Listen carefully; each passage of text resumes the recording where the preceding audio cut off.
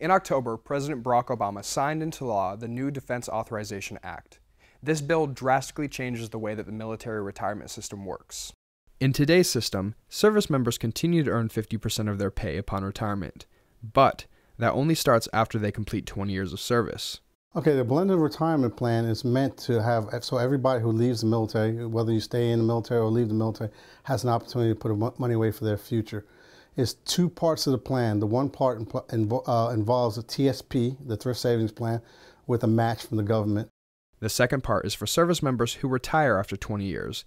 They will receive retirement pay in the same way as the current system, but at a lower rate. Troops who joined between 1996 all the way to 2018 will have some important decisions to make between staying in with the traditional retirement plan or moving to the new blended plan. And once they decide, there's no changing back to the other. Today, only one in five service members sees any form of retirement pay. With the new plan, about four in five will leave the military with some level of retirement savings, whether they serve for three years or 30.